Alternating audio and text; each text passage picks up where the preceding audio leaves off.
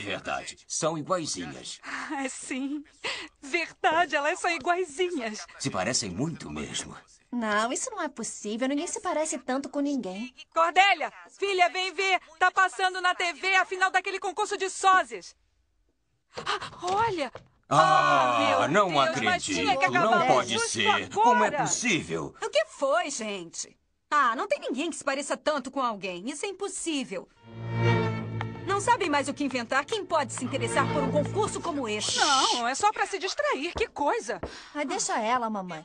Minha querida irmã pensa que é princesa. Para, não começa, Polônia. Cale a boca, me deixa ouvir. Paro, pai, mas você é o culpado de tudo, porque sempre fez a Cordélia acreditar que é melhor do que eu. Calem a boca. Não, ele não me fez acreditar que sou melhor do que você. Sou melhor do que você. Ah, é? Ah, é? calem a Até boca. Olha, a TV pipou. Eu sou melhor que você. Oh. Não, hein? Cala a boca. Que coisa. A Polônia, me traga um café, por favor. Por que você não pede pra Cordélia, papai? Ah, sabe de uma coisa? Não se incomode. Se é tanto trabalho assim, eu pego. Ó, João Pedro. Não, que eu vou lá. Espera aí. Tá vendo? O quê? Não é justo, Cordélia. Não é justo que eu passe o dia todo trabalhando na mercearia enquanto você fica passeando com seus namoradinhos por aí. Essas histórias são as pessoas que inventam a Polônia. Sabe qual é o problema? Não gostam de mim porque não sou hipócrita. Porque têm coragem de viver minha vida. Isso não é verdade. Todo mundo conhece muito bem a sua fama. Aposto que escreve todas as suas aventuras nesse diário. Cuidado! A Polônia não mexa nas minhas coisas. Este diário é meu, só meu, e ninguém tem o direito de tocar nele, viu? Ah, deve estar cheio de porcaria. Por isso não quer que ninguém toque nele. Cala a boca, idiota! Quer?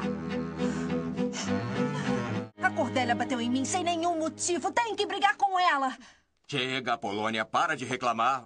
Você merece o que aconteceu. Sabe por quê? Porque não respeita a sua irmã. É mesmo. Viu, papai? Está sempre defendendo ela. Você não gosta de mim, papai? Não, não diga isso, Apolônia. Todos viveríamos mais tranquilos, Cordélia, se você mudasse um pouco seu jeito de ser. Mamãe. É, e se não desse motivos pra ficarem falando mal de você por aí? Sabe o que é, Cordélia? Não deve fazer coisas boas que pareçam ruins, filha. Papai, eu juro que o que dizem de mim não passam de mentiras. Isso não é verdade, bruxa! É como diz o ditado, papai. Onde há fumaça, há fogo. Cala a boca, metida! Vamos parar. Chega, chega, chega. Estou cansado. Não se pode ficar em paz nesta casa. Até logo. Viram o que fizeram? Agora seu pai não volta tão cedo. Aposto que vai beber no boteco ou pior. É melhor. É melhor nem falar mais nada. Tudo isso é por sua culpa. Você não presta. E quer saber? Você é uma oferecida. Está doida. Não me interessa ninguém da cidade. Todos são os pobres mortos de fome. E nenhum pode me dar o estilo de vida que eu mereço, irmãzinha. Ah, não me diga que pretende se casar com um milionário. E por que não? O dinheiro não traz felicidade. A gente compra ela. Aprende comigo. Coitadinha.